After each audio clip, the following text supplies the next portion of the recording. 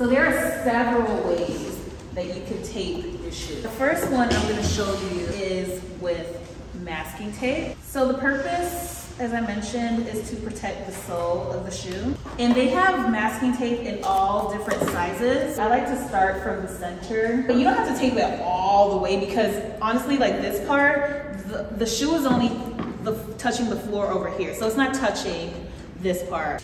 And you wanna be extremely careful because first of all, these scissors are extremely sharp, but just in general, last thing you wanna do is like be cutting too fast and then you puncture a mm-hmm. hole into the shoe because that just defeats the entire purpose of taping it because it's damaged now. And they don't know that you wore it out when you're not supposed to. Mm-hmm. so take this masking tape.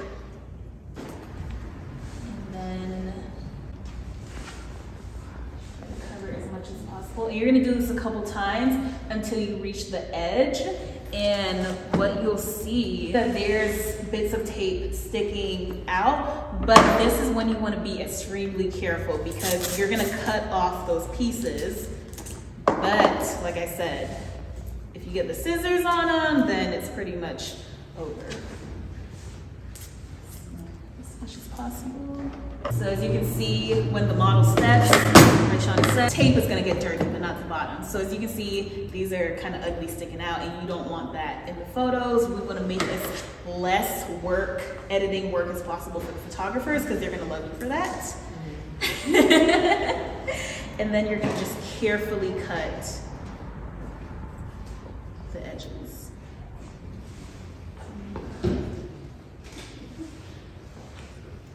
So because this is, it can be a time consuming process because I'm only doing this one shoot, right. right? And you, of course, you're gonna have multiple pairs. So this is part of the prep work and this is what I mean by, you're not just getting, you're getting paid for that one day you're on set. You're getting paid for all of this work that you do leading up to the photo shoot or to whichever project. So, all right, so that's one way. Yeah. Masking tape is just one way. Another thing you could do, let's say you don't have masking tape you know what this is? Yeah. Ooh. Lint rollers. So they're not just for you can actually, you know, in a pinch, peel one of these bad boys off to use as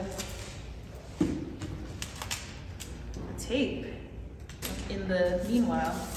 Oh, I think I like that one. Yeah.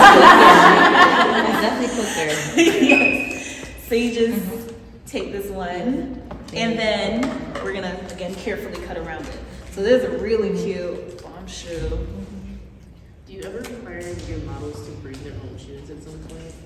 Yeah, um, well, like when I first started out, I didn't really know because you can get a ton of clothes, but a lot of showrooms are still kind of slow to adding shoes to their inventory. So I would say, hey, feel free to bring some so we have the more options, the better. Yes. Options, options, options is the name I have a quick question. Yes. As far as transporting all of this stuff, yes. Um, do you use just a suitcase and garment bags?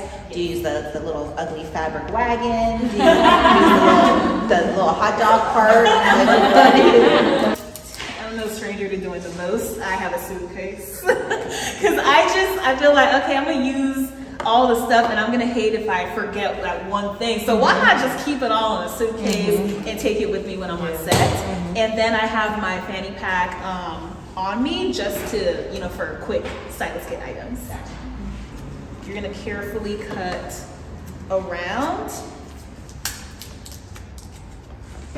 So that's another way. This rubber the sticky masking tape is not gonna stay on for long. And because it's so small, it's just difficult to yeah, cut into the circle. Yeah. So because of the texture, this is very easy to clean versus like this. There's one last way of taping shoes is contact paper. So are we familiar with contact paper? This is renter friendly um, paper. So it's very easy to just stick and peel. And what you can do, let's say you didn't have lint roller or masking tape, take it back to the old school. You go ahead and pen and just trace the bottom of the shoe. Mind you, when I was interning in like e-commerce, I would literally steam for like five hours a day. That's all they would have me do. Um, just a little fun fact.